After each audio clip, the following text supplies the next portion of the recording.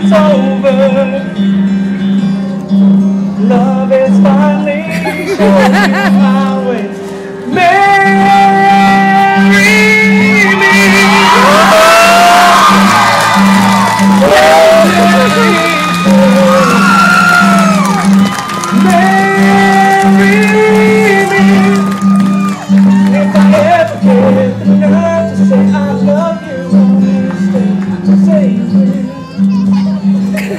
Stephanie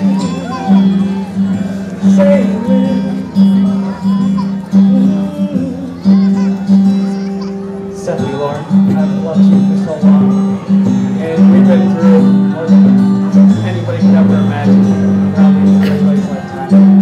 You do me an honor, marry.